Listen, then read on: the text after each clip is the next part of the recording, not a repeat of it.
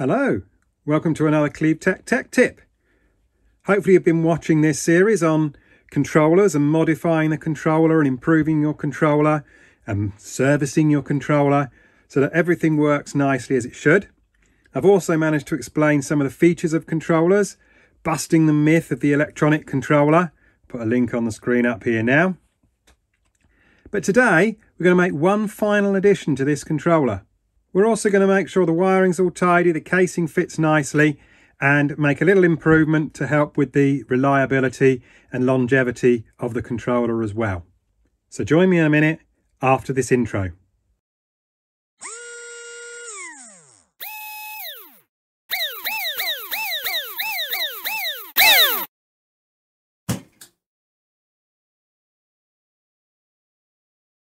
So before I start adding anything to my controller, I'm going to get the casing put back on the hand throttle part of the controller. Now, you can see this casing all does fit fit on, fits on okay, slides over. The addition I did of the anti-brake fits on nicely.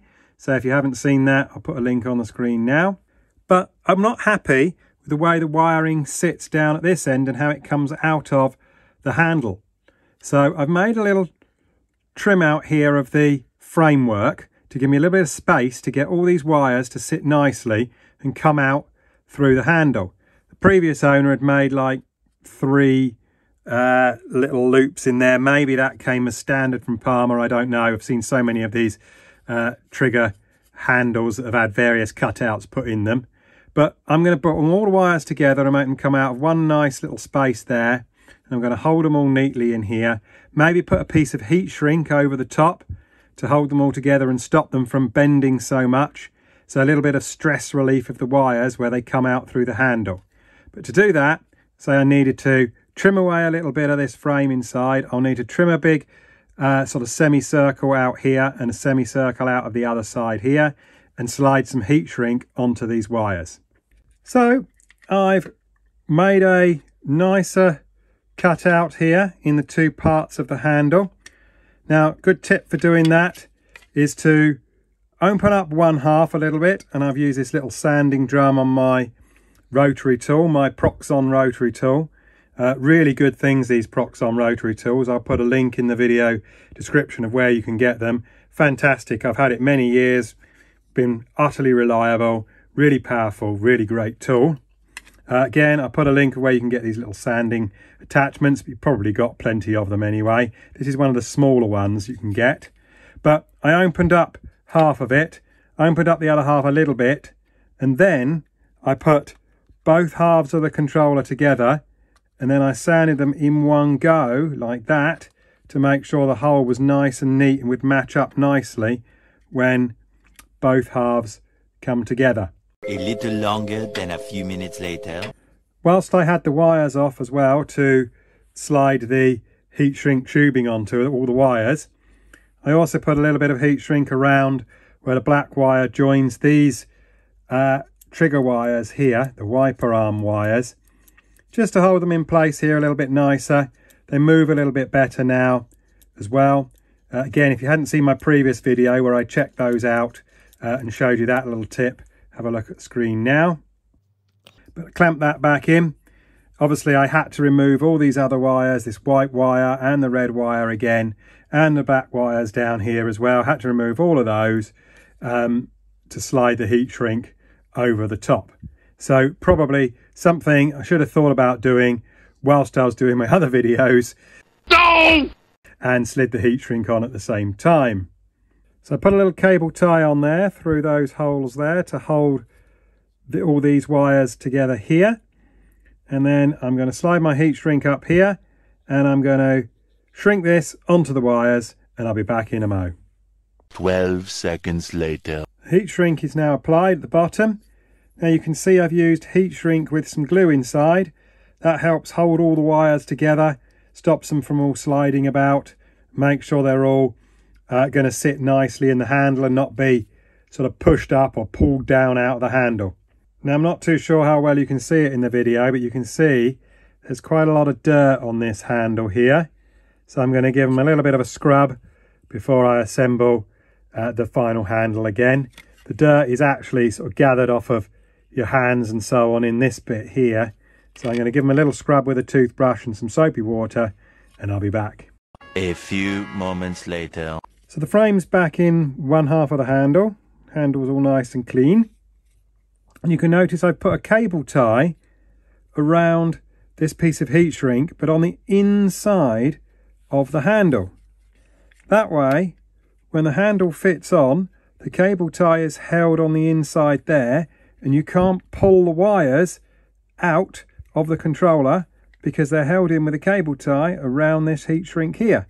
So the, the heat shrink has a little bit of flex, stops it from rubbing against the plastic uh, handle, and therefore, hopefully, these wires will last a lot longer without snapping off uh, at the handle part here.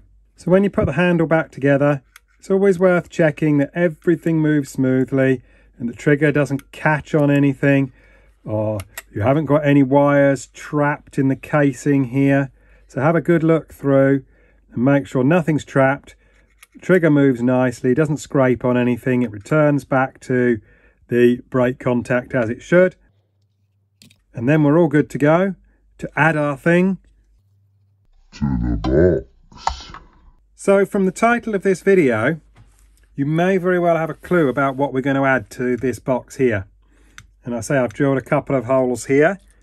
Well, let me reveal. We're going to add a fan. Why do we add a fan? Well, we don't want to lose our cool, do we? Well, basically, with all these additions we've made to the controller, and especially putting these choke resistors in, and if you haven't seen my choke resistor video, I'll put a link on the screen now. But these could get quite warm. Also, our brake pot could get quite warm. Our transistor could get quite warm. So we want to try and make sure that the performance of our controller remains consistent and doesn't get too hot. So by adding a fan onto our heatsink, we can blow some cold air onto our transistor and onto our heatsink uh, make sure there's a flow of air going over the top to try and keep everything nice and cool. So why have I've got two holes? Well, one hole is for the fan wires, the other hole is for a switch so you can turn your fan off. Now, they don't use much current. You can see this one's 0.15 amps at 12 volts. But that's still a tiny bit of current. And if you want absolute maximum power with your relay on, your full power blast relay, you want to go the fastest you possibly can down the straights, then turn your fan off as well, and then you make sure you get all the power to your car down the straight. So I'm taking my fan here, and I've put a little bit of heat shrink over the wires. I basically put the heat shrink where the wires are going to go through the hole in the case down there to make sure that the wires aren't going to rub on the sides of the uh, heat sink on the case or on the aluminium box just protects the wires a little bit more uh, from shorting out or catching on the aluminium case. 12 seconds later. So I've threaded my fan wires down through this hole I'd made previously and they come out into the box there. So again, gives me a little bit of room there to connect the wires to where they need to go. It's worth mentioning that the fan, remember, is a 0.15 amps at 12 volts. That's key to remember, and I'll explain why when I finish wiring it up. It's not quite as simple as just connecting these two wires. But first of all, before I connect any more any wires, I'm going to screw the fan down to the top. Now I have this cover here that was laser cut at some time in the past. Um, you can get little metal grills to go over the top. I definitely recommend putting something over your fan because you don't want to accidentally get your fingers caught in it or drop anything into your fan when you're racing. Now, I'm going to fix it into place with these little self-tapping screws. And the self-tapping screws are quite handy because they're just a little bit wider than the grooves in the heatsink. And they just literally bite into the edges of the heatsink. So I don't need to drill any extra holes or anything. They will actually just bite into the edges of the aluminium heatsink and hold the fan in place. And it works out quite nicely that this fan matches the grooves in the heatsink and I can get all four screws in to hold it in place, say with a cover on top. 12 seconds later. So I've screwed this fan down to the heatsink with a cover, a protective cover on top. It's also worth mentioning that the fan is screwed in in the direction of blowing air onto the transistor and the heatsink. If you'd flip the fan around the other way, it'd be drawing hot air up and away from the hot heatsink. Whereas in this case, it's going to draw cold air from above and throw it down or force it down onto the heatsink. The reason why I've put the fan just slightly off to the side is because it leaves me room here for adding a switch to turn your fan on and off. 12 seconds later. So, switch is mounted in position. Switches nicely, plenty of room to switch the fan on and off. Let's say the wires come through here. Now, it's not just quite as simple as joining the red wire to the positive coming in from the controller and the black wire to the negative coming in from the controller. That would, of course, work, but we can't guarantee on all tracks being 12 volts. And these type of fans here that designed for cooling computers and things like that, they're quite sensitive to an increase in voltage. So I found that people that have just connected the fans directly into the power in from their controller, the fans don't tend to last very long because some tracks are 12 and a half, 13, 13.8. Some tracks might even be 14.4 volts I've seen at some tracks. And if you're running 14.4 volts, then the fan is going to be drawing a bit more current than 0.15 amps. So we need to limit that current. So looking, doing a bit of Ohm's law calculation, I'll put on the screen now. A lot of boring math later. We can see that at 12 volts, 0.15 amps, then the fan itself is about 80 ohms of resistance. So if the fan is 80 ohms of resistance, then if we are increasing the voltage to let's say 14.4, which is probably the maximum I've seen at most tracks, then we need to increase the resistance to make sure that it doesn't draw any more current. And obviously increasing the resistance sets up a bit of a potential divider. And another way of looking at it is it will drop the voltage back down again to 12 volts. So doing an Ohm's law calculation, we can see that we need 96 ohms. So that's another 16 ohms of resistance so I just happen to have here a 16 ohm resistor, which happens to be a brown, green, black. So I'm going to add this in series with the red wire before we connect it to the positive coming in from the controller.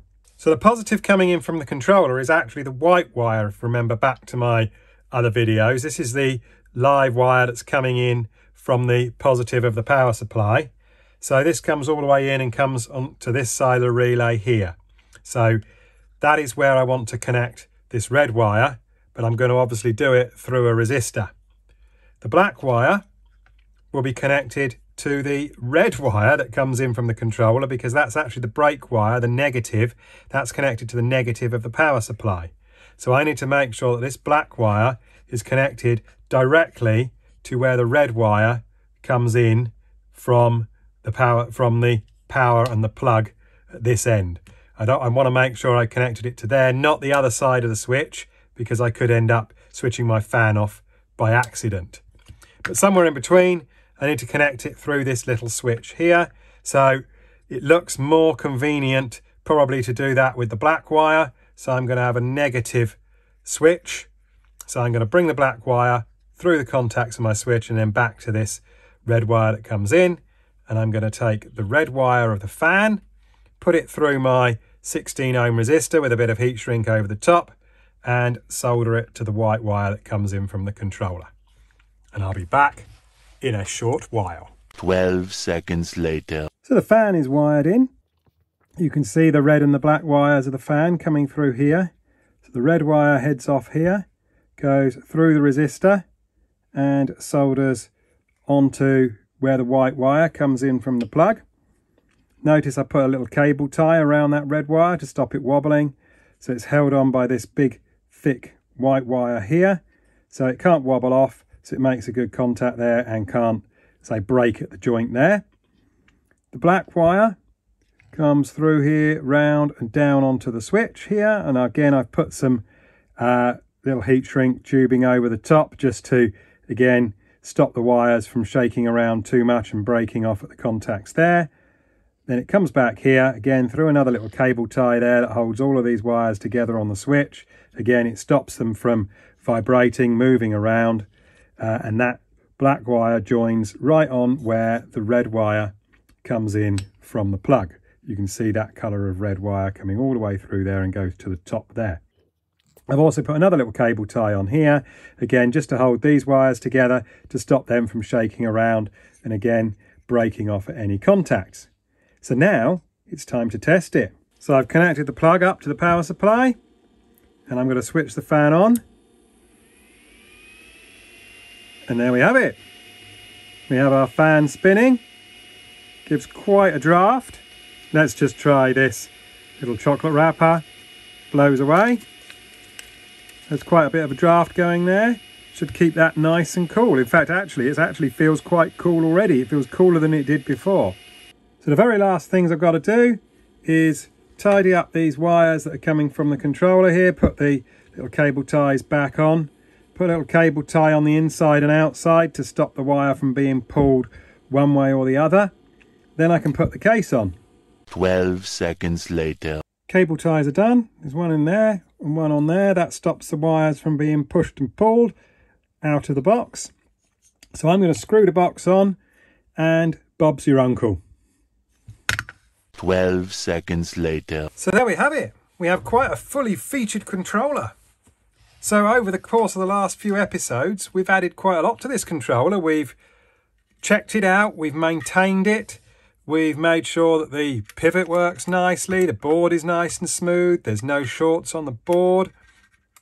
We've added quite a lot of extra features to it. We've added a full power relay on and off. We've added a choke, a three stage choke of different values, a resistive choke. We've added anti-brake, an adjustable anti-brake. And we've added a fan to the controller to keep it nice and cool.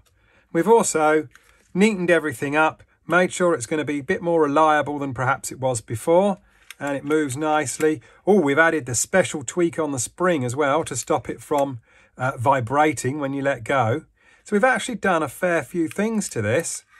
And this should be a really, really nice controller for years to come for the owner who can now drive a lot more exotic type cars, a lot more different car, types of cars, and feel that they can control them more easily.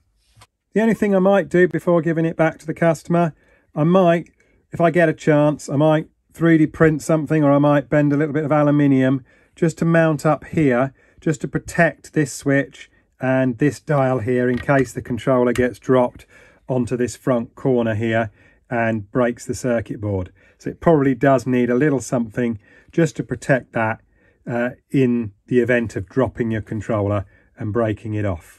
I want to thank you very much for watching this series of controller videos.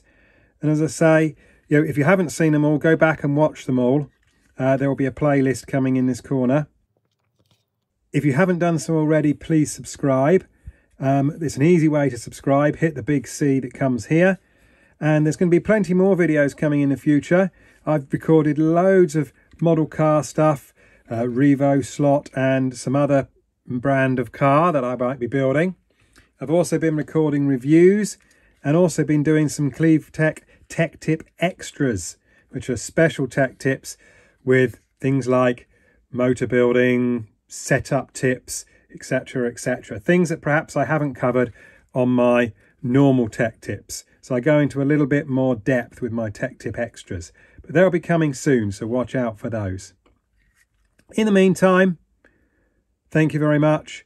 As I say, hit the big C when it appears, watch my other videos, have a nice time, enjoy your racing, and I'll be back again soon.